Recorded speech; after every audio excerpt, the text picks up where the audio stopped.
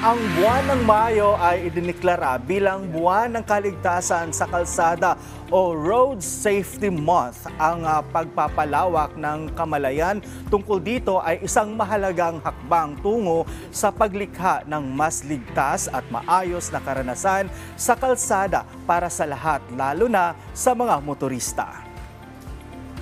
Sa pagsusuri ng World Health Organization o WHO, bumaba bahagya ang taunang bilang ng mga nasasawi sa aksidente sa kalsada sa 1.19 million kada taon.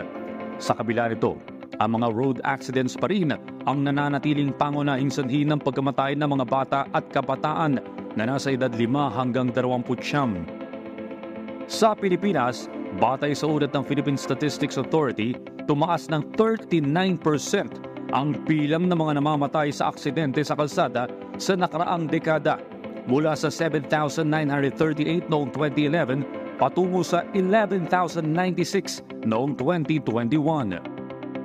Paano nga ba makakaiwas sa ganitong mga uri ng sitwasyon bilang motorista at mga commuter? Pag-usapan natin ang mga posibleng interbensyon at aksyon na maaari nating gawin sa tulong ng mga road safety volunteer organizations upang malutas ang problema at aksidente sa kalsada. Dito lang sa Rise and Shine Pilipinas.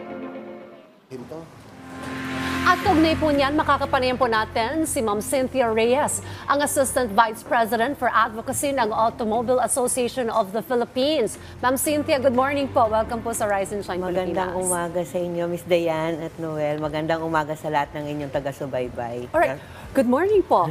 Pag pinag-usapan po ba itong road safety, ano po ang sinasaklaw po nito, Ma'am Cynthia?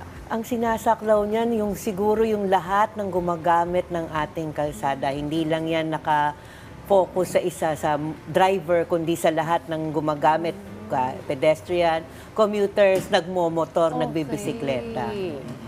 So, kanina sinabi parang tumaas sa BTR, parang tumaas daw yung ano, Road mga kaso ng road, ano? road accident. Ano po ba yung madalas dito? An anong mataas na ma- bilang na madalas ma- ma-aksidente? Alam mo ano yan eh, kasi di ba ang talagang naging cause ng human error, based dun sa mga statistics na nakikita namin, for example, sa maras ng MMDA, yung kanilang ah, data collection, ang mataas talaga ang involvement ng mga naka two wheels Oh, based dun sa motor. bu- based dun sa data nila ha, sa mga recorded and documented. Oo. Sa- Sabi mo, s- ah, human error or self-error? Human Ito ba ay ano dahil ba lasing? Ano ba? Hindi Nagmamadali? Alam mo, iba-iba kasi ang ano eh, dahilan ng mga nag, kaya ang nagiging cause ng mga insidente sa kalsada eh. Siguro, unang-una, yan, siguro kasama yan, yung nakainom, Oo. pag nagmamaneho. Naanto. Oo, kasi syempre impaired na yung senses mo pagka nakainom ka eh. Tapos yung hindi sumusunod sa speed limit. Okay. Yan yun, di ba? So, tas yung bad turning, yung alam mo yung dumidiretso, yung bigla ka na lang naisip mo ata, liliko ka, bigla ka lumiliko. May ganong insidente. Ako mismo, personal, nakaka-witness Witness. ako ng ganon. Oo, yung oo, oo. di- nakadiretso, biglang liliko pala siya pakanan or pakaliwa. So, yun. No, sa inyo pong organisasyon, ano po yung mga ina-advocate ninyo para po maiwasan yung ganito pong mga aksidente? Ah, sa aming organization, ah, kasi nga ang road safety ang flagship advocacy talaga ng aming opisina, ng aming organization. So, more on sa education side naman kami ah, nagpo-focus ngayon. May mga programa kaming nakatuon para sa mga estudyante, ah, specifically grades 4 to 6 yung, or grades 4 to 7 ang mga target naming mga beneficiaries ng mga ganitong uh, road safety orientation. Yung tinuturuan mo sila ng bata pa lang na ah, na alam mo yung maging aware sila na bakit kailangan kang ligtas sa kalsada. At nandyan din yung mga ah, road safety seminars namin sa mga public utility vehicle drivers, mga TODA, tsaka yung mga private and public na mga drivers din, na mga kumpanya. Mm-mm-mm. So, ito ba ay ah, araw, ah, um, taon-taon yung ginagawa? Oh, frequent. Oo, Itong mga kasi ba, education makakalimutan program- nila to eh. programs. Kung- frequent, ay, ah, hindi naman siya yung araw-araw, pero na, nakaschedule. And Ah, pagka naman kami nagbigay ng isang orientation or seminar sa mga uh, nag-iimbita sa amin, ah, nagbibigay rin naman kami sa kanila ng mga libro, mga may- sa mga estudyante for example, ah, mo- may module sila na kung ano yung tinuro sa kanila that day, mabibigyan din sila ng kopya na booklet noon, na module. Para alam mo yun yung constant reminder na ay ito yung pinag-aralan namin. Kasi syempre involved din dyan ng PTA ang mga teachers so may katulong kami na pag-remind sa mga bata na bakit kailangan kang ligtas sa kalsada. Dahil may i-add lang ako, dahil ngayon, napaka ano na yung mga bata sa social media, alam mo yun, mga makabagong gadgets na tayo ngayon. So ito ba ay target nyo rin pasukin para araw-araw napapanood yung mga Ah, information nyo? Actually, yung for example sa amin sa AAP, ah, every day nagpo-post kami ng mga informative I na mga yan, ah, details or informations or mga informations na nakakatulong para mas maintindihan ng karamihan kung ano ba talaga ang kalaga ng road safety. Mhm. Pagdating sa mga tips na yung maibibigay sa ating mga kababayan ano para maging ligtas sa kalig sa kalsada. Kalsada. Ano-ano po itong mga tips na ito, ma'am? Siguro ako yung unang-una magkaroon tayo ng ano, ng kortesiya at, at respeto sa lahat ng gumagamit, lahat sa lahat ng nakakasabay natin sa kalsada. Hindi lang sa yun nga, ika ko nga kanina, hindi lang sa mga nagmamaneho, kundi sa mga pedestrians natin. Tapos number two, ah, sumunod lang tayo po sa batas trapiko.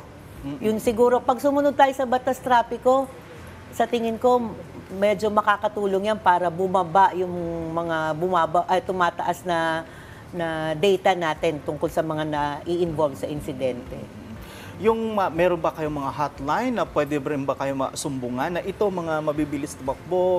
Meron ba kayong ganun? Actually, meron ang opisina naman namin po, minsan nakakatanggap kami since nga nagkokonda kami ng mga road safety Oo. trainings and awareness seminars. Nakakatanggap po kami na sa isang lugar, merong ganitong mga insidente na nire-relay naman po namin sa mga relevant na mga government agencies na para mabigyan ng action. Okay. Pagdating naman sa mga nagbabike, kasi parte Oo. rin yan ano, ng ah, road ah, safety natin, ka-share din natin sila Yes. sa lansangan. Kasi may mga pa, may mga pinag-aaralan ngayon eh, yung pag-share ng ah, lane sa bike, sa motor, o dapat ba may exclusive lane for motor dun sa EDSA? Ano bang inyong, kumbaga, um, stand with this um, um, Kasi kami, parang mm, para sa lahat ng gumagamit ng kalsada, it should always be uh, shared lane. Pero kasi nga, di ba, since nung nag-pandemic, mas tumaas yung gumagamit ng bike. So, kaya antayin natin yung ating gobyerno na mapagdesisyon. Kasi marami silang kinoconsider eh, na kung dapat ba lagyan ng bike lane ng isang kalsada. So, antayin na lang po natin yun. Kasi syempre, for example, ba, yung tinatanong mo nga, Miss Dayan, bike makakasabay ba yan kung halimbawa sa isang major highway? For example, EDSA, na ang ating speed limit yun ay 60 kilometers. Kung safe ba sila, kung mabibigyan ng lane, at kung susundin. Alam naman natin na naglagay sila ng bike lane, pero alam naman natin na Mga motor din kasi Oo. may minsan na dumadaan. dumadaan Kasi shared doon. lane nga daw. Oo. So, siguro ako, ang tingin namin palagi dyan, yung disiplina rin eh. Kung bibigyan kayo ng, ah, ng lane or shared lane yan, doon lang tayo. Yun nga, ika ko nga. Sunod lang tayo kung ano yung pinapatupad ng mga regulasyon. Okay, siguro pang huling nga mensahe nyo na lamang po sa ating pong mga kababayan dahil sabi mo nga hindi lang mga motorista, even pedestrians, Yes. parte rin itong road safety na ito, kaugnay po ng pagdiriwang nito ngayong buwan na ito. Ako siguro yung ngayon, ah, yun nga, kailangan ah, sumunod tayo talaga palagi sa traffic rules. Hindi lang yan para sa mga nagmamaneho, kundi pati sa ating mga commuters, sa ating mga pedestrians. And yun nga, matuto tayong rumispeto sa ating kapwa. Alright, well, maraming salamat po, ah, Ma'am Cynthia Reyes, sa pagbabahagi po sa amin ng mga impormasyon patungkol po sa kaligtasan sa kalsada. Salamat po, Ma'am Cynthia. Maraming salamat po.